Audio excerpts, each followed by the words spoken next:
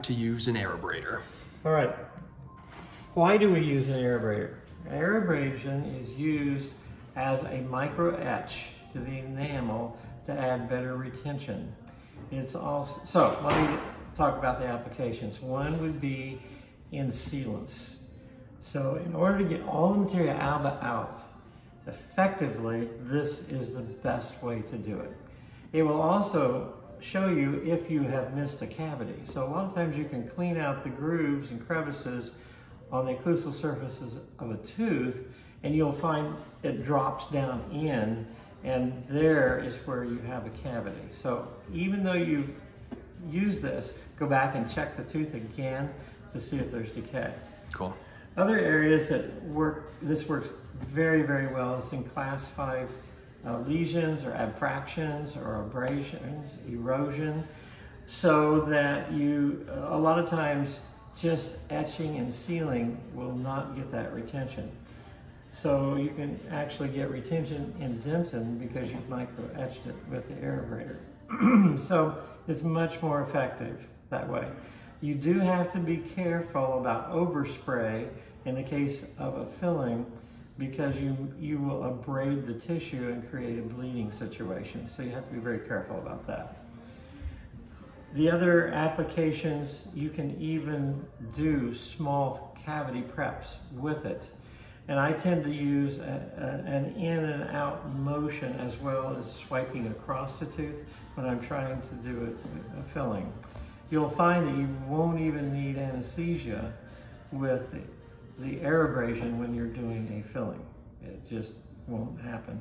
And if you get to the point where you've removed a lot of enamel and open the, the cavity up, you still have some leathery decay in there, you can go and take your slow speed with a round burr, remove the decay, and still won't need to get numb. So Cool. it's very effective. So let me show you how you use the, the Let's do it. aerabrator. the nice thing about this is that there's water coming out at the same time the abrasive is coming out. This is the abrasive, al- aluminum oxide. Nice. It's a powder. it goes into This is where it goes. There is a, a line. you fill it up two thirds of the way. These are plastic. Um, so don't over tighten. If it if you get it kinked and it won't screw in, don't strip the threads. Start over. Then, so we're going to put the uh, abrasive in there. There is an adapter, which I don't see right now, but the adapter goes in and then it just plugs in, uh, for example, like this, and it's ready to go. Perfect. That's your electric handpiece that it Well, no, you use this. You use the regular. Uh, it, it has its own adapter, so it won't be on here. The adapter will be here, Gotcha. and it'll plug right in. Okay. okay? Okay. You have different tips with this. Some of them are angled, and some of them, well, these two are angled. But sometimes you can get them straight, and the orifice may be a different size. There's a larger orifice and a smaller orifice. Okay. So I, I just pretty much use what's ever there, and I don't worry about it. Um, so when you put it in, there is a red arrow. Yep. That is where this red dot lines Red to up. red. Yeah. Actually, there's a slot. You put it in the slot. There is a little bump. You put that in there and you turn it. When the dot and the arrow line up, it's on. It won't come off. Seated. Cool. That's seated. So that's how you start. Now we've got to clean this up. Every time you use it, you have to take it apart and clean it. This does not go in the autoclave. Okay. This can be bagged in autoclave. Okay. So you take that off, you unscrew this. Let's pretend it's full of aluminum oxide.